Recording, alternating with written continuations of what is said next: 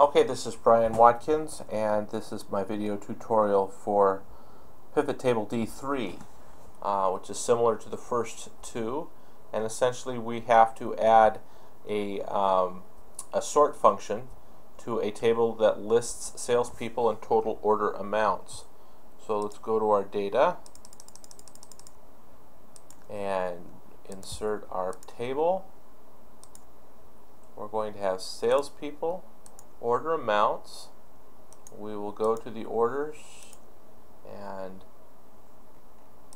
fix up the number so that it's formatted properly.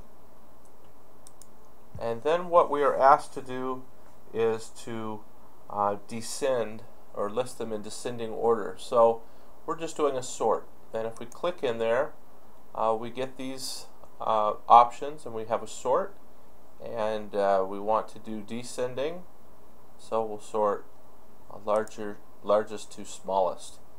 So that's our report. We can include a page filter if we wish. We can name it if we wish. Uh, we certainly should uh, make sure to leave it well formatted.